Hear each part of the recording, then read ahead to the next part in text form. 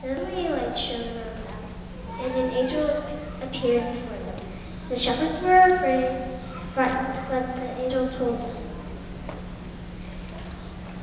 That night, Mary gave birth to her child, a boy. She wrapped him in clothes and placed him in a man's